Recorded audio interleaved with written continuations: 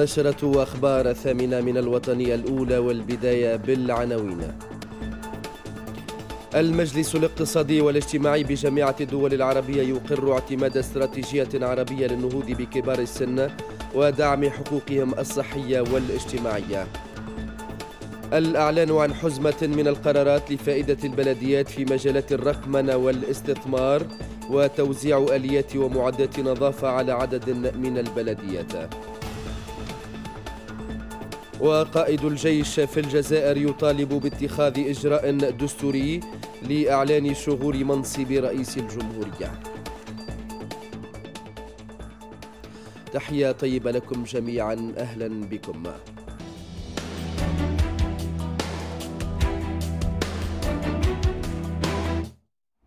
اعتمد كبار مسؤولي المجلس الاقتصادي والاجتماعي بجامعة الدول العربية في اجتماعاتهم اليوم مبادرة تونسية للنهوض بكبار السن في البلدان العربية. ستعرض لاحقا على أشغال القمة التي سترفع لها أيضا مقترحات أخرى تتعلق بالشأنين الاقتصادي والاجتماعي.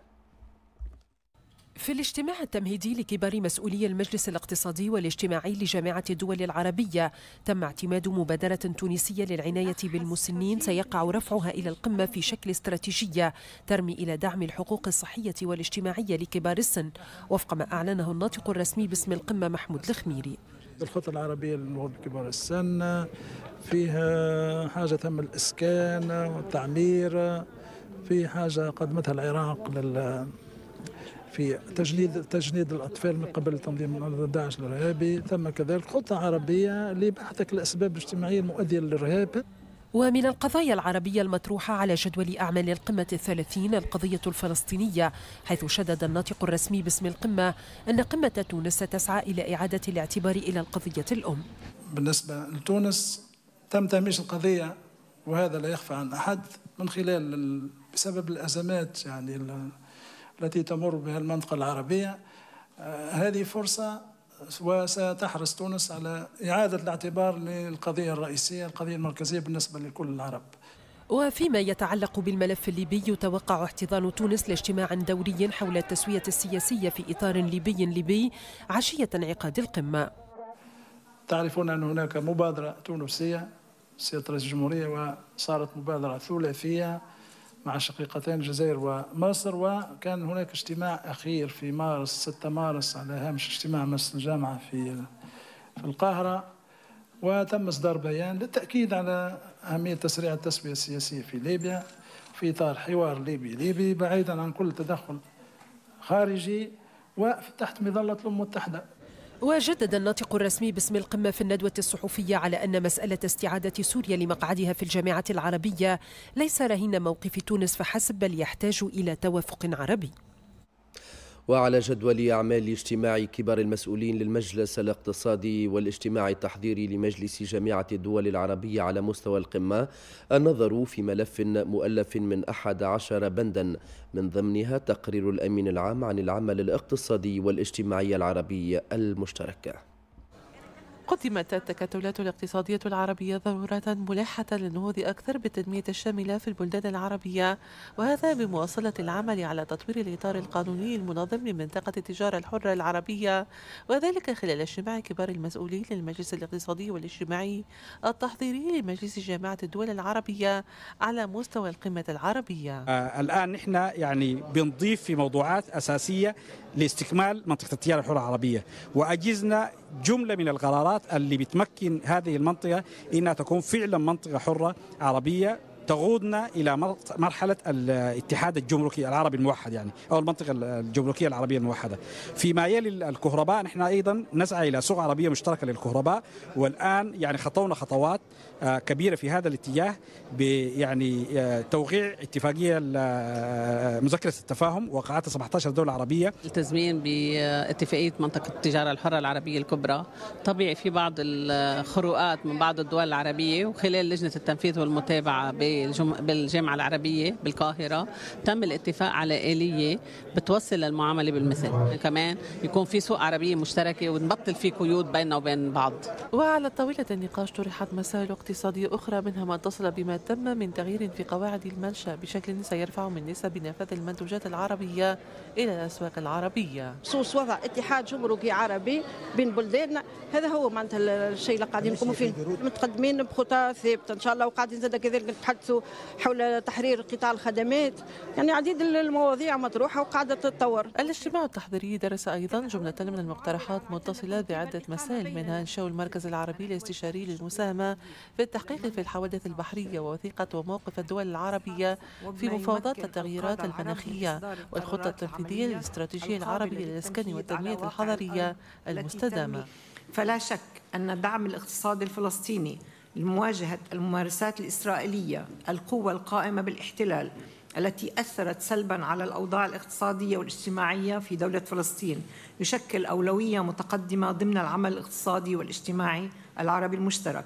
وكذلك الأمر بالنسبة للقضاء على الأسباب الاجتماعية والثقافية المؤدية للإرهاب. حاصلة النقاشات خلال الاجتماع اليوم سترفع مشاريع قرارات إلى اجتماعات وزراء الاقتصاد والتجارة. المقررة يوم الخميس القادم.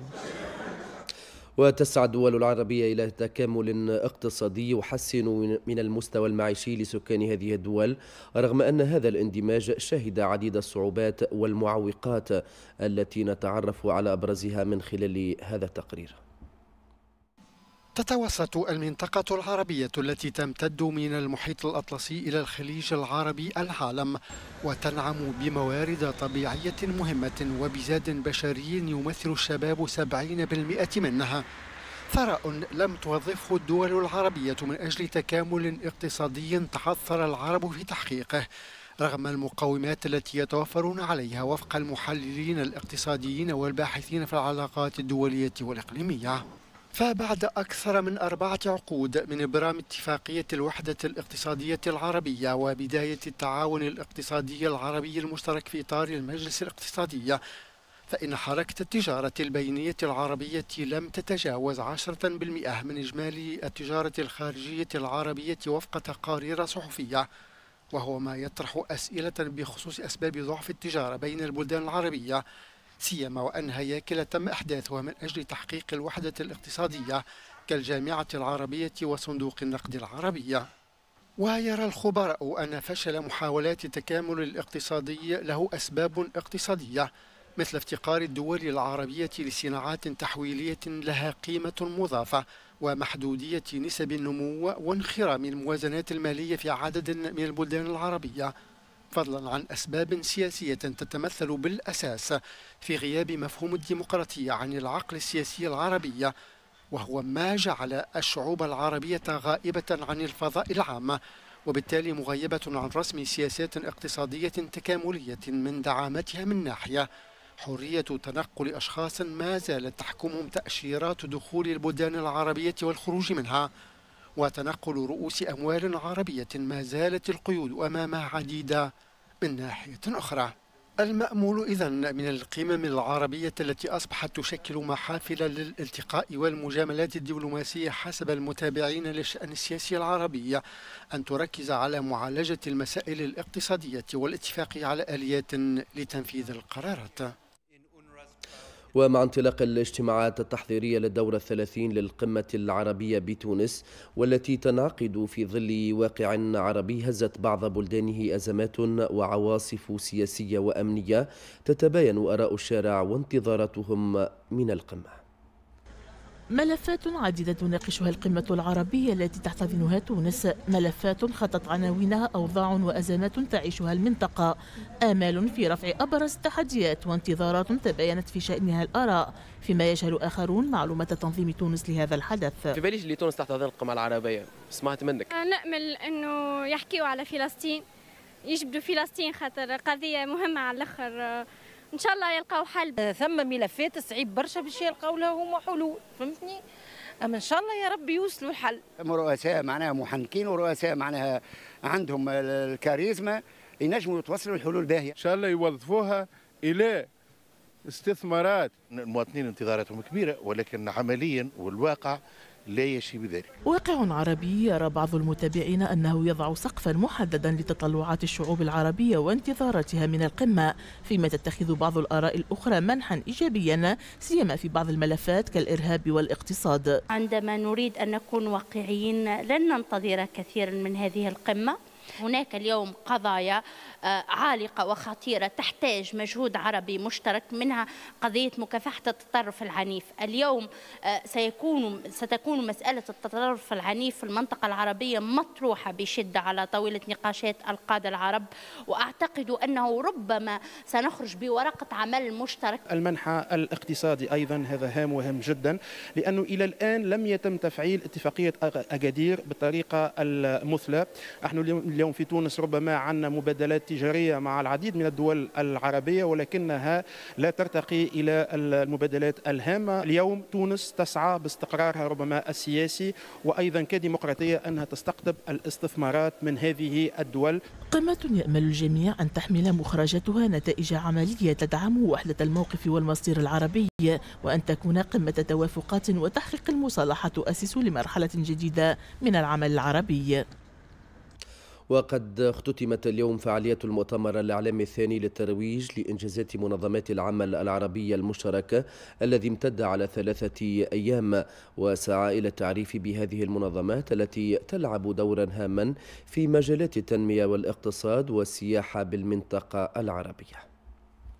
تعريف المواطن العربي بإنجازات وأنشطة منظمات العمل العربي المشترك دون التركيز على الجوانب السياسية مع التأكيد على دور الجامعة العربية في تحقيق أهداف التنمية المستدامة في المنطقة العربية. نقاط طرحت خلال المؤتمر الإعلامي الثاني للترويج لإنجازات ومنظمات العمل العربي المشترك. حاولنا بقدر الإمكان أنه نسلط الضوء على جوانب أخرى مشرقة في جامعة الدول العربية وفي المنظمات العربية المتخصصة الجوانب الاقتصادية الجوانب الثقافية الجوانب الاجتماعية. فهذا المؤتمر هو آه هذا هو الهدف الأساسي. هو يعرف ويروج لإنجازات هذه المؤسسات. المؤتمر فيه عدد زي ما وضحت عدد من الجلسات عن التعليم واحتياجات سوق العمل عن الزراعة الذكية في الوطن العربي عن الإعلام الحديث والاقتصاد الرقمي. ممثلو بعض هذه المنظمات أكدوا نجاعتها في خدمة العمل الاقتصادي والاجتماعي بالمنطقة العربية. الأكاديمية صرح عربي متميز آه، في التعليم والتدريب البحري بنلاقي أفضل أنواع وجودة التعليم في هذا المجال في الأكاديمية العربية كله يعني بيؤكد على أن هذا الصرح العربي صرح ناجح وثمرة ناجحة من ثمار العمل العربي المشترك. وقد تم الخروج في اليوم الختامي لهذا المؤتمر بعدة توصيات في مجالات مختلفة ستعمل المنظمات التابعة لجامعة الدول العربية على تنفيذها.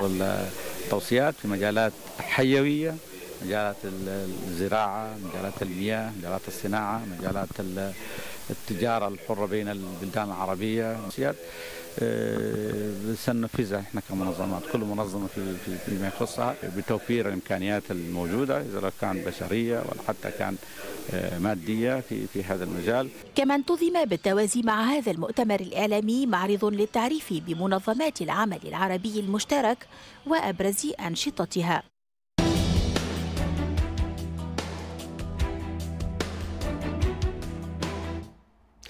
قال الأمين العام المساعد لجامعة الدول العربية حسام زكي اليوم بخصوص موضوع الجولان إنه من اللحظات الأولى تم الفصل بين الموقف من الأزمة السورية وتطوراتها وبين موقف الجامعة العربية من موضوع الجولان. التأييد العربي لسورية الجولان هذا تأييد واضح لا لبس فيه على الإطلاق.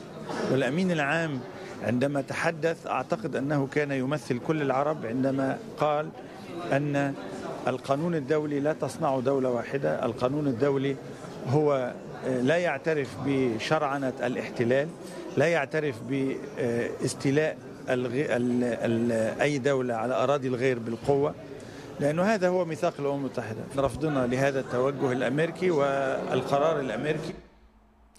انتظمت اليوم بمقر النقابة الوطنية للصحفيين التونسيين ندوة للتنسيقية التونسية من أجل فلسطين دعما للشعب الفلسطيني. ندوة عن فلسطين والأمن القومي العربي. هي قمة المجتمع المدني المنعقدة بمقر النقابة الوطنية للصحفيين التونسيين. تزامنا مع انعقاد القمة العربية. تظاهرة إعلامية ثقافية دعما لفلسطين بتنظيم من التنسيقية التونسية من أجل فلسطين بالاشتراك مع منظمات المجتمع المدني وسفارة دولة فلسطين بتونس. قبيل انعقاد القمة العربية باش نوجهوا رسالة أنه القضية الفلسطينية ما تتنساش وأنه التعامل مع القضية الفلسطينية بعلاقة بمختلف الدول العربية قاعد مختل لفائدة إسرائيل. موقفنا واضح بالرغم من كل التهديدات وكل الوقت الوعيد اللي أطلقوه علينا وكل المقاطعات والخنق الاقتصادي تم رفضها رفض مطلق وإعادتها لصاحبها وسوف يفشل ترامب. صفقة القرن وإهداء ما لا يملك لمن لا يستحق. من قبل ترامب واجهها المجتمعون اليوم بمقر نقابة الصحفيين برسائل للقادة العرب وللضمير العربي والصحفيين بأن لا تصبح القضية مجرد خبر عادي في وسائل الإعلام. كثير من قصص النضال على وسائل الإعلام يعني أنه العمل على أبرازها سيما وأنه يعني اللوبي الصهيوني في العالم يحاول من خلال وسائل الإعلام النافذة إلى طمس القضية الفلسطينية وعلى الإعلام العربي أن يقوم بدوره في هذا المجال. ضرورة استعادة القضية الفلسطينية موقعها من الاهتمام الإعلامي والسياسي ووقف النزيف الحاصل ووقف الانتهاكات والاحتلال وموجة اللهفة على التطبيع التي تأتي في مرحلة خطيرة وخطيرة جدا وفي ظل سياسة البلطجة وسياسة يعني الغطرسة. وقد توجت الندوة بتلاوة بيان التظاهرة الداعي قادة الدول العربية المجتمعين في تونس إلى إعادة الاعتبار للقضية العربية وتقديم كل أشكال الدعم للشعب الفلسطيني. تلتها وقفة تضامنية أمام مقر النقابة الوطنية للصحفيين التونسيين دعما للشعب الفلسطيني. وفي الشقيقة الجزائر طلب قيد قائد الجيش الفريق أحمد قيد صالح اليوم باتخاذ إجراء دستوري لإعلان أن الرئيس عبد العزيز بوتفليقة عاجز عن مواصلة تولي منصب الرئاسة. ودعا قيد صالح خلال حديثه لضباط من الجيش بثته قناتان خاصتان إلى موقف موحد لحل الأزمة التي أطلقت شرارة احتجاجات حاشدة مناهضة للحكومة منذ أسابيع. وقال قيد صالح أن الحل سيستند إلى المادة 102 من الدستور وتسري هذه المادة في ظروف معينة مثل تدهور صحة الرئيس. والخطوة التالية هي أن يعلن المجلس الدستوري رسميا أن بوتفليقة عاجز عن مواصلة مهامه وهو قرار يتعين أن يقره مجلس البرلمان بأغلبية الثلثين. وبمقتضى المادة 102 يتولى رئيس مجلس الأمة عبد القادر بن صالح منصب القائم بأعمال الرئيس لمدة لا تتجاوز 45 يوما. وذكرت قناة البلاد التلفزيونية الخاصة أن المجلس الدستوري عقد جلسة خاصة بعد تصريحات قائد الجيش. أعلن رئيس الحكومة يوسف الشاهد لدى افتتاحه لقاء تحت شعار من أجل بلديات فاعلة في التنمية المحلية. أعلن عددا من القرارات لفائدة البلديات كما أشرف على توزيع 534 آلية ومعدات نظافة على عدد من البلديات. للبلديات تعيش وضعية فيها من أجل بلديات فاعلة في التنمية المحلية. وعبر قرارات جاءت لتحسن الأداء البلدي أعلن رئيس الحكومة يوسف الشاهد عن 12 قرارا لفائدة البلديات في مجالات الرقمنة والاستثمار والمعدات والموارد البشرية من أهمها. إدراج صندوق اللامركزية والتسوية والتعديل والتضامن بين الجماعات المحلية ضمن قانون المالية لسنة 2020 الترفيع في مبلغ الدعم المالي السنوي من ميزانية الدولة لفائدة الجماعات المحلية بنسبة 10% سنويا. إطلاق البوابة الرقمية للجماعات المحلية لتكون منصة لربط الصلة بين البلديات وإصدار أول عدد من الجريدة الرسمية للجماعات المحلية.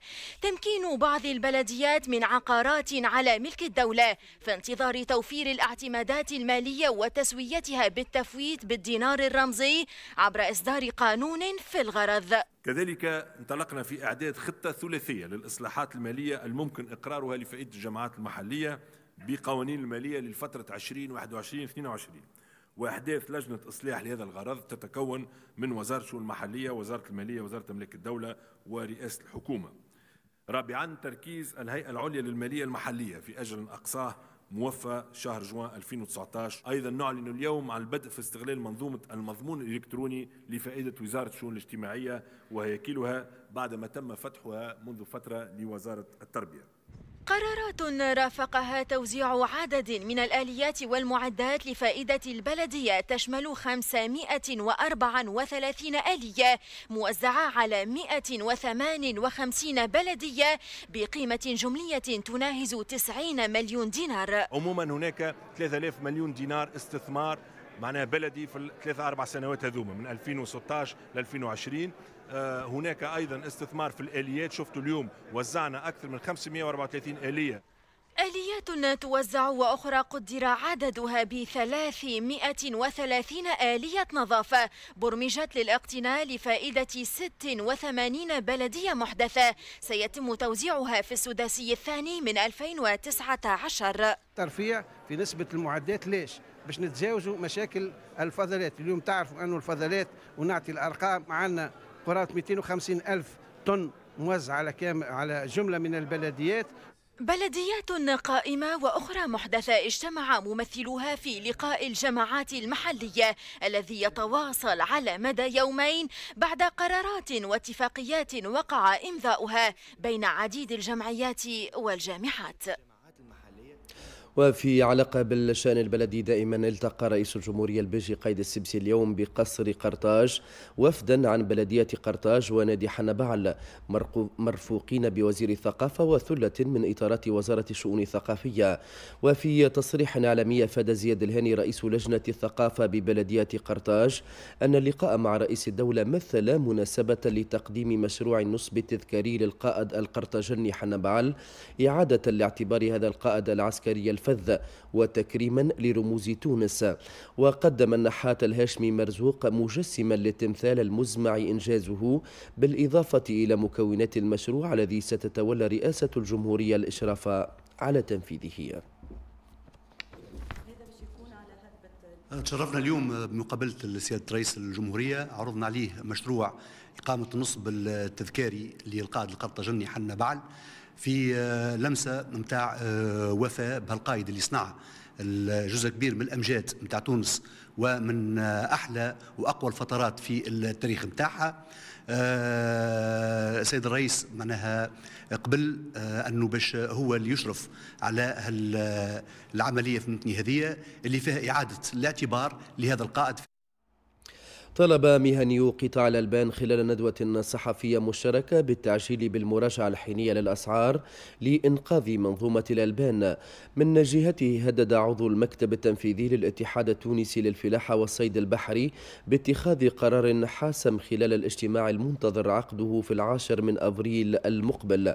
قد يصل إلى وقف إنتاج الألبان في ظل تواصل ما وصفه بتجاهل الحكومة لمطالبهم في ظل تدني مردودية منظومة الألبان وتواصل ما وصف بتجاهل الحكومة لمطالب الفلاحين هدد عضو المكتب التنفيذي للاتحاد التونسي للفلاحة والصيد البحري يحيى مسعود باتخاذ قرار حاسم خلال الاجتماع المنتظر عقده في العاشر من أفريل القادم قد يصل إلى وقف إنتاج الألبان. مطالبا الحكومة بإقرار زيادة فورية لا تقل عن 200 مليم في سعر اللتر الواحد لتغطية الخسائر التي التي يتكبدها الفلاح. يوم 10 أبريل باش ناخذوا قرار.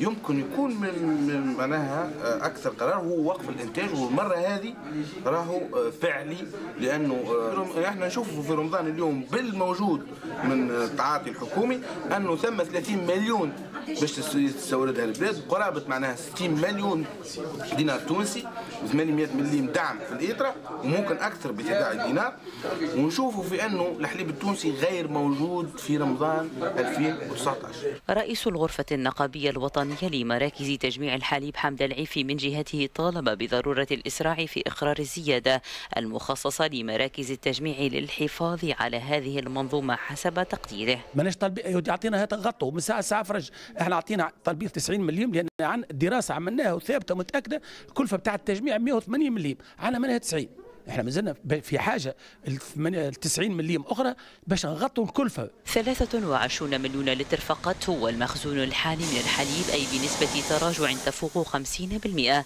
مقارنة بالفترة نفسها من سنة 17 و2000 وهو ما يؤكد وفق رئيس الغرفة الوطنية لمصنعي الحليب أن المنظومة في أسوأ حالاتها. اليوم الحلول المطلوبة هو إحنا راهو آه، آه، قعدنا نحكيو مع الحكومة ومع الوزارات من من من من أكتوبر. ومعناه هما متفاهمين وإحنا مبدئيا متفاهمين باش نزيدوا سعر على الأقل 180 مليم. 110 مليمات للفلاح و70 مليم لل للمصنع بحيث معناها السعر يولي يكون من 1120 ل 1300 وهذا معناها راهو حليبنا أرخص حليب. وراهو هذا ماهيش زيادة. معناها كما قلنا راهو هذا راهو تعويض للخسارة. وأمام هذه الوضعية التي تنذر وفق الهياكل المهنية بأزمة حقيقية فإن الحل يبقى في ضرورة تعديل الأسعار على مستوى كامل حلقات المنظومة. صدق مجلس نواب الشعب خلال أشغال الجلسة العامة الصباحية على مشروع قانون يتعلق بتمويل مشروع تحسين التزود بالماء الصالح للشرب بالوسط الريفي بولاية بنزرتة مشروع القانون المصادق عليه في مجلس نواب الشعب والمتعلق بالموافقة على اتفاقية القرض المبرمة بين تونس والصندوق السعودي للتنمية لتمويل مشروع تحسين التزود بالماء الصالح للشرب في الوسط الريفي بولاية بنزرت. سيشمل 20 معتمدية وسينتفع به أكثر من 170 ألف ساكن بالقرى والتجمعات السكنية في أرياف بنزرت. القرض هذا هو من قرض من صندوق التنمية السعودي. على 20 سنة مع خمس سنوات مهال نسبة الفائدة زوز في المياه آه، تقريبا 250 آه، مليون دينار. انطلقنا في الأعداد للمشروع هذا. قبل المصادقة وحدة التصرف حاضرة طلبات العروض جاهزين. إن شاء الله نلقوهم في في نهاية الشهر هذا. وخلال أشغال الجلسة العامة أثار عدد من النواب عديد الإشكاليات التي يواجهها بعض المتساكنين في مناطق مختلفة من البلاد. أبرزها ما يتعلق بأعطاب شبكات التزود بالماء الصالح للشرب المنجزة من طرف الجمعيات المائية. الماء الصالح للشرب اللي يجي عن طريق الجمعيات المائية. هذه المنظومة باستثناء بعض الاستثناءات أثبتت عدم جدواه إن لم نقل فشلها. الذريع في تحقيق الأهداف المعنى منذ التكوين. المنظومة هذه قلنا يلزمنا نحسنوها. ما نلوحوا حوايج ففي مجله المياه الجديدة مشروع مجله المياه اللي إن شاء الله يتعرض قريبا على المجلس هناك باب كامل يعنى بالمجامع المائية وإصلاحها وإدخال ناس مهنيين. كل مجمع مطالب أنه يشغل ناس مهنيين مكلف معنيين ومسؤولين وقادرين أنهم يحكموا التصرف. وأكد وزير الفلاحة أن الوزارة ستواصل العمل على توسيع منظومة الماء الصالح للشرب ليشمل مختلف المناطق الريفية في الجهات الداخلية مشيرا إلى أن تونس حققت اكتفاءها من مخزون المياه في السدود ما يتطلب حسن التحكم في هذه الموارد. استعرض محافظ البنك المركزي مروان العباسي خلال لقائه اليوم بقصر قرطاج رئيس الجمهورية البيجي قائد السبسي أوضاع المالية العمومية والمؤشرات الاقتصادية الراهنة للبلاد. وأكد العباسي في تصريح إثر هذا اللقاء أنه قدم لرئيس الجمهورية القوائم المالية للبنك لسنة 18 و2000 وتقرير مراقبي المحاسبات أو الحسابات. انطلقت أشغال النسخة الثانية للمنتدى الاقتصادي الإفريقي. المنتدى يهدف إلى إبرام شراكات في مجالات اقتصادية مختلفة وتذليل جميع العراقيل أمام حركة البضائع والبشر والاستثمار في إفريقيا. بعد عام وللمرة الثانية على التوالي تنعقد أشغال النسخة الثانية للمنتدى الاقتصادي الإفريقي في تونس. المنتدى الذي يشارك فيه أكثر من 80 شخصا من الفاعلين الاقتصاديين من 17 بلدا إفريقيا. يرمي القائمون عليه إلى أن يفضي إلى إبرام شراكات اقتصادية وتنزيلها على أرض الواقع خاصة وأن القارة الإفريقية تعد بمثابة خزان النمو العالمي. من خلال مجلس الأحزاب الأفريقية ممثل في آه، واحد من أهم أجنحته المجلس الاقتصادي الأفريقي نزع حقيقة ل آه، الشعوب تحريك الأحزاب السياسية تحريك الحكومات نحو تحقيق التكامل الاقتصادي الأفريقي. إحنا تقريبا عندنا معناتها عدد كبير من الاتفاقيات سواء كان السوق الإفريقية المشتركة سواء كان مختلف الفضاءات الاقتصادية الفضاءات الحرة بين مختلف الدول الإفريقية ولكن التفعيل التفعيل هذا إحنا إن شاء الله اليوم خلال اللقاءات نتاعنا نحاولوا أنه كيفاش أنه معناتها نكونوا نساهموا في تفعيلها ونقدموا خطوة لقدام. كما يتفق الخبير الاقتصادي رضا الشكندالي والوزير المستشار لدى رئيس الحكومة رضا السعيدي بأن الوقت قد حان للولوج إلى السوق الأفريقية باعتبارها سوقا واعدة. صحيح ثم مراكمة للمبادرات وفيه خاصة هل التعاون بين القطاع العام والقطاع الخاص والمجتمع المدني باتجاه أنه عمقنا الإفريقي يتحول إلى فرصة للاقتصاد التونسي. لها من الآن التفكير ماليا في التغلغل في أدغال إفريقيا خاصة على مستوى المؤسسات المالية والتفكير بربط شبكة الطرقات البري والبحري والجوي لمزيد التواصل مع هذه البلدان وتنمية الصادرات التونسية. النسخة الثانية للمنتدى الاقتصادي الإفريقي والتي تتخللها لقاءات ثنائية بين رجال أعمال تونسيين ونظرائهم من إفريقيا. من المؤمل أن تخلص أشغالها غدا إلى توقيع اتفاقيات ثنائية بين الشركات التونسية ونظيراتها من إفريقيا. تعزيز دور المرأة الريفية الحرفية في إدارة المشاريع الصغيرة والمتوسطة والكشف عن أهم الفرص المتاحة التي من شأنها أن تدعم مشاريع الحرفيات في المناطق الداخلية مثلت أبرز أهداف ورشة العمل حول تعزيز دور المرأة الريفية الحرفية في إنشاء وإدارة المشاريع الصغيرة والمتوسطة. تهدف هذه الورشة إلى البحث في أهم التحديات الاقتصادية والاجتماعية والبيئية التي تواجه المرأة الريفية الحرفية. وإحنا هدفنا بهذه الورشة أنه نساعدها ونعرض لها تجارب حقيقية وواقعية آه، ممكن تتلمس طريقها من بعدها في إنشاء هذه المشاريع الصغيرة والمتوسطة وفي تعزيز آه، دور دورها في العائلة وتمكينها وحد من الفقر الورشة شكلت فضاء للتحاور وتبادل الخبرات بين الحرفيات المشاركات من مختلف الدول العربية. اليوم مبسوطة أني أنا راح ألتقي معظم آه، أو عدد كبير من الحرفيات على مستوى الوطن العربي. آه، لنتبادل الأفكار ونتبادل المجالات الحرفية ونعزز بعضنا ونعزز دور المرأة في المجتمع أنها تكون منتجة. نحن كمدربين للحرف اليدوية آه، نخصص جزء كبير من تدريب السيدات وخصوصا المرأة الريفية لتنهض وتصل تصل إلى آه، آه، مستوى آه، راقي في الإنتاج. ممكن أنها تعيل نفسها وتعيل أسرتها. ورشة تنظم على مدى ثلاثة أيام وقد أشرف على انطلاق أشغالها وزيراء السياحة والصناعات التقليدية والمرأة والأسرة والطفولة وكبار السن وأكد ضرورة دعم آليات التسويق والترويج للحرفيات. نشوفوا في فكرة متاع بلاتفورم متاع اللي هي تاخذ كل المنتوجات وهي اللي تسوق. تفاهم مع الحرفيين والحرفيات وهي اللي تسوق بال, بال... معناها بال méthode معناها moderne على الانترنت. مزيد دعم المرأة في الوسط الريفي من خلال برنامج رائدة وهو التمكين الاقتصادي للمرأة. واليوم آه، تو عندنا أسبوع تم آه، العمل على إسناد أكثر من 3155 مشروع لفائدة المرأة في الوسط الريفي.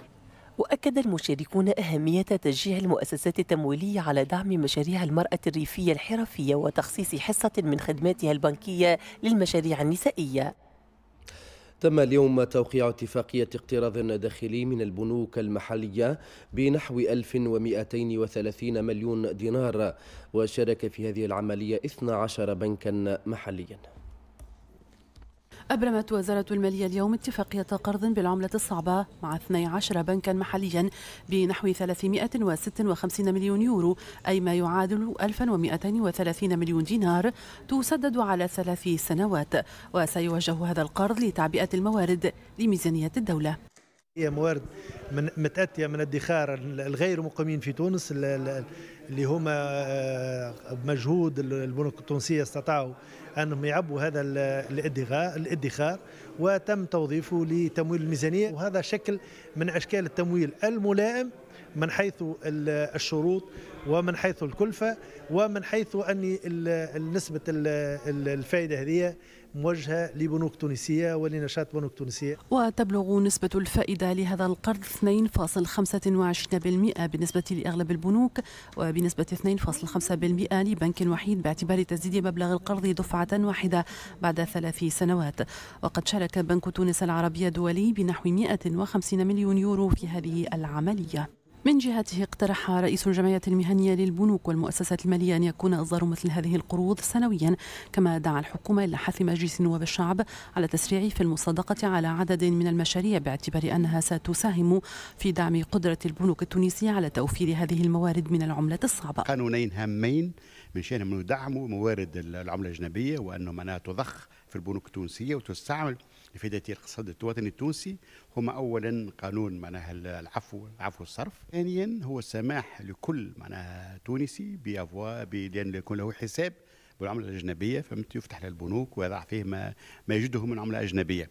هذوما قانونين وقت المصدق عليهم لكي يساهموا في تدعيم السيولة البنكية وفي تمويل الاقتصاد والاستثمار. وتعتبر هذه المرة الثانية التي تلجأ فيها تونس إلى الاقتراض الداخلي بالعملة الصعبة من البنوك المحلية.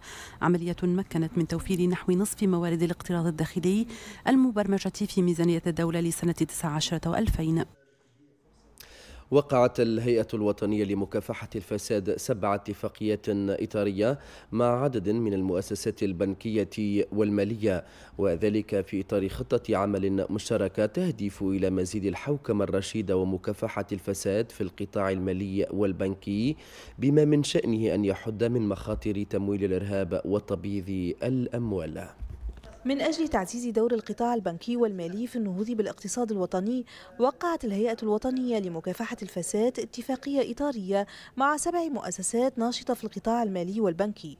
وهي اتفاقية تنضاف إلى اتفاقيات تم توقيعها سابقا مع البنك المركزي التونسي ولجنة التحاليل المالية والجمعية المهنية للبنوك والمؤسسات المالية وذلك في إطار خطة عمل مشتركة بين القطاعين العام والخاص. صحيح. هناك ملفات هناك شبهات فساد بالعشرات وربما بالمئات اللي تهم القطاع المالي والقطاع البنكي. هناك خسائر بآلاف المليارات كبدها الاقتصاد التونسي منذ سنة 2011 بصفة معناها خاصة وحتى قبل ولكن بدأ يتصاعد الخطر هذا خاصة مع جرائم تبييض الأموال. الآن بالاتفاقيات هذه القطاع الخاص والعام باش يخدموا بعضهم ونحن اللي نأكدوا عليه بصفة خاصة هي المقاربة الوقائية. هل المنظومة هذه تعتبر مكون أساسي للارتقاء بأداء القطاع المالي التونسي؟ بعد لأنه اليوم الحوكمة الرشيدة هي إحدى مكونات التصرف الإيجابي اللي يمكن من أن المؤسسات تكون عندها أكثر صلابة مالية تكون المعاملات متاعها أكثر ربحية وتكون صورتها سواء في تونس أو في الأسواق المالية العالمية جاذبة للمستثمرين.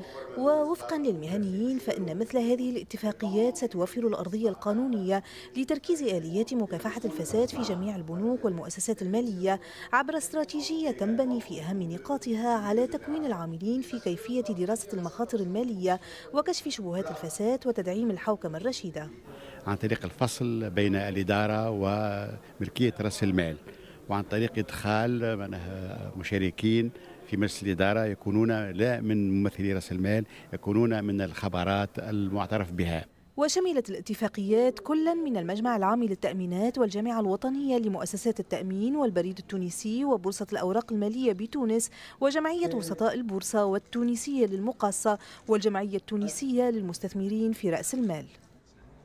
نختم مشاهدينا الكرام بالرياضة إذا أقيمت اليوم الدفعة الثانية من مباريات ثم النهائي كأس تونس لكرة القدم والتي أسفرت عن تأهل كل من الاتحاد المنستيري والملعب الجابسي وقوافل قفصة واتحاد بوسالم لدور الثمانية.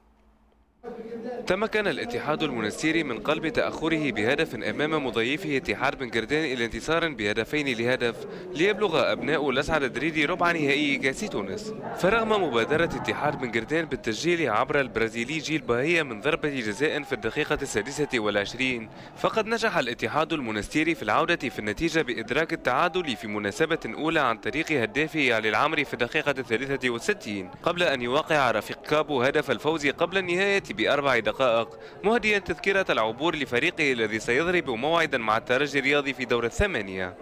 وفي مباراة ثانية حل الملعب الجيبسي ضيفا على هلال مساكن المنتمي للرابطة الثالثة في لقاء اتسم بالتوازن بين الفريقين إلى حدود الدقيقة الثامنة والثمانين التي شهدت حصول الملعب الجيبسي على ضربة جزاء.